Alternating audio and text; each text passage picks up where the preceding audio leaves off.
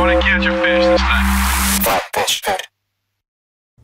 Good morning, afternoon, evening.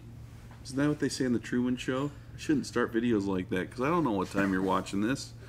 Cheech here with Fly Fish Food. And I have a cool product. I haven't been this excited about a hook for a long time. It's not new, it's relatively newer to us anyway, but it's the Tiemco 708. 40 degree keel jig variable shank 2x heavy wide gape forged bronze. It should just cross all that stuff out and say the ultimate stonefly hook.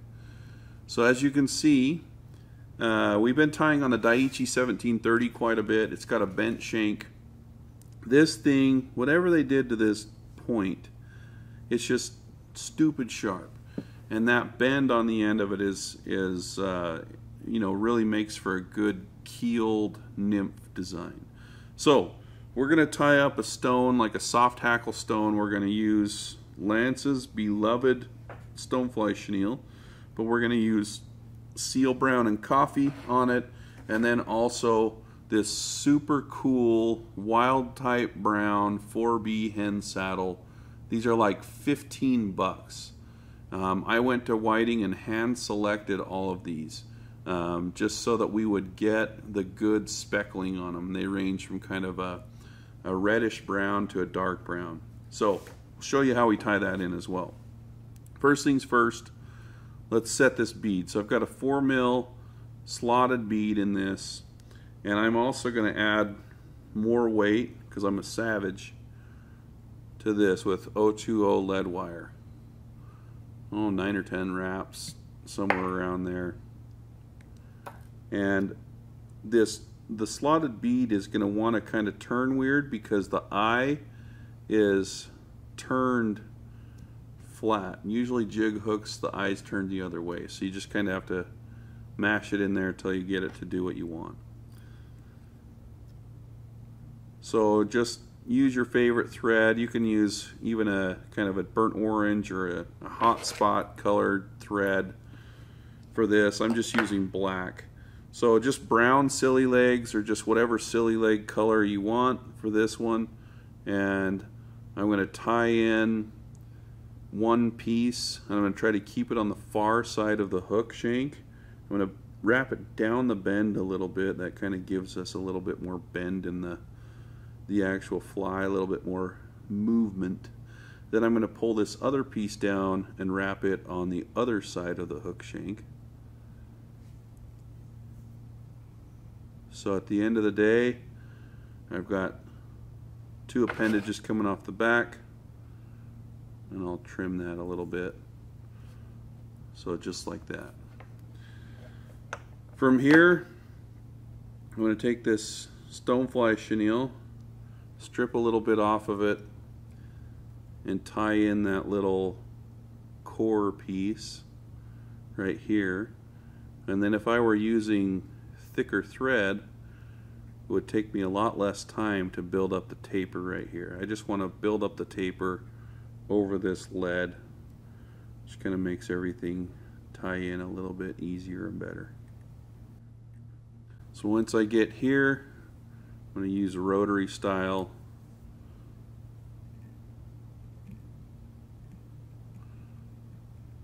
and wrap that up just barely over the lead so I've got about that much showing.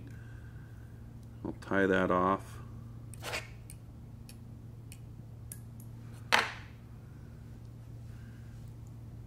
and we're trimmed. Okay, now comes kind of an interesting tie-in style for this soft hackle. Um, it's it's super durable and uh, looks really cool too. So let me prep a feather. I'm just going to kind of pull some of the fibers down here and trim that off. And instead of tying that in right here, um, you know, and, and wrapping it forward, I'm actually going to tie this in right up by the bead. And if you leave a little bit longer stem on this, it's a little bit easier to do. So I've got the feather coming out the front of the fly. And now what I'm going to do is, I'm actually leave my thread up here. I'm going to take some just straight brown ice dub. Um, good buddy of ours, Mickey Anderson, kind of turned me on to this color. And it's got a lot of really cool UV properties. Um, caught a lot of fish on this color. So from here, I'm just going to kind of wrap a buggy, messy thorax down to where the chenille meets. Now, I'm going to take this soft hackle, and I'm not even going to fold it or anything. Might kind of tease it into place with my hands.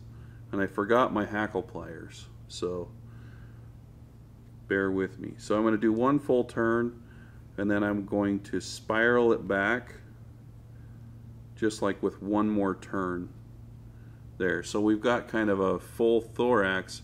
Now I'm going to catch that with my thread and wiggle my thread through this hackle up to the bead.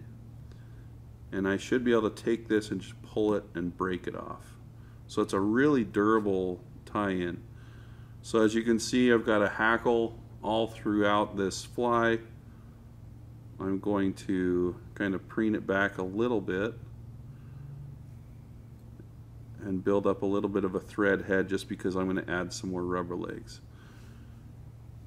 So I'm going to take the remaining piece of this Spanflex and I'm just going to tie one piece on the far side of the hook. I'm going to fold it over and do the same on the other side. I'm going to pull all those back and whip finish it now.